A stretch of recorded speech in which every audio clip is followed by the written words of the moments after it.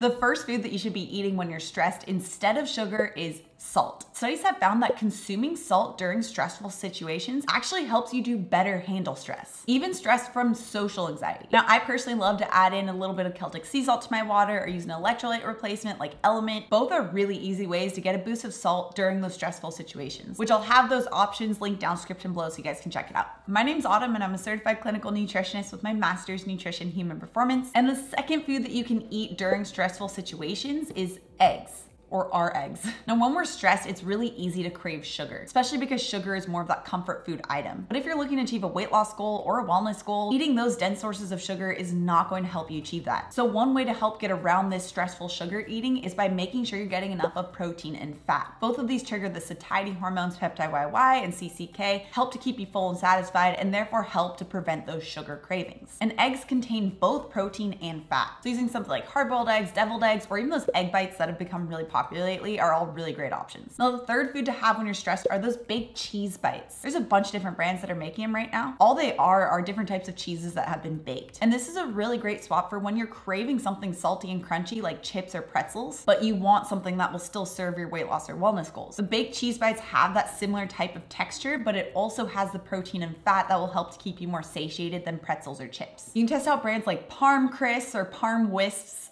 Psst all the words that are hard to say fast. The fourth food to eat is a low sugar, high protein smoothie. Now, protein is king when it comes to satiety. Now, for myself, I know that when I'm stressed, I'm not necessarily craving a lot of food because stress can really affect your stomach and slow down digestion. But in those stressful situations, I know that if I don't eat something, I will be crazy hungry later. So having something during that stressful time is still important. And having a smoothie is essentially like a pre-digested meal that's really easy on the GI tract during these stressful situations. But it is important that you're opting for one that has protein protein and fat and is low in sugar. Now the fifth food you can eat is warm bone broth. Real bone broth contains a pretty significant source of collagen and collagen alongside other protein sources has been found to really help boost satiety, which can therefore help to prevent those sugar cravings that you experience when you're stressed. If I'm not making my own, I love using Kettle and Fire for their really high quality bone broth. Also link them with a discount code you guys can use to test out down description below. Now the sixth food to have when you're stressed is keto coffee and using decaf if you're more caffeine sensitive. But if you're feeling particularly really stressed and you still want coffee in the morning,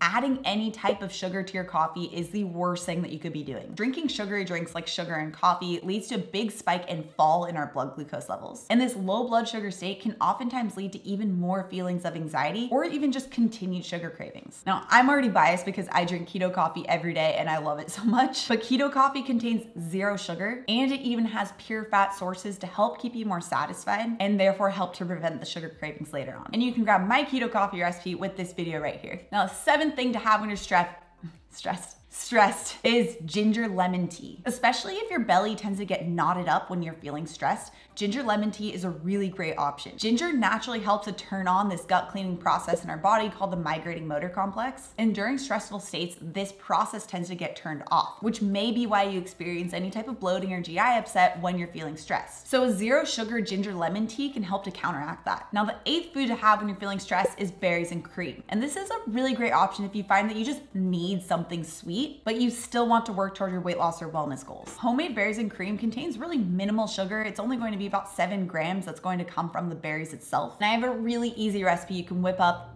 literally whip up in five minutes with this video right here. Now, the ninth thing to have when you're feeling stressed is a magnesium supplement. It's not a food, but it can be helpful when you're feeling stressed because stress can lead to poor quality sleep and poor sleep can lead to even higher cortisol, which is our stress hormone levels the next day. And magnesium supplements can tend to help with the sleep quality, which therefore can then help break that stress cycle. Now, the 10th thing to have when you're feeling stressed is whey protein. Whey protein contains something called alpha lactalbumin which is a mouthful. And this is naturally rich in the amino acid called tryptophan. And this amino acid has been found to help enhance cognitive performance when placed under stress and even help to improve the quality of sleep. In fact, if you have a whey protein powder, you can try it out in one of my smoothie recipes with this video right here. Also, if you're new to my channel and you love this science-backed information, make sure you subscribe right here. Come out new videos every Tuesday and Thursday. All right, guys, thanks so much for tuning in and I'll see you in my next video.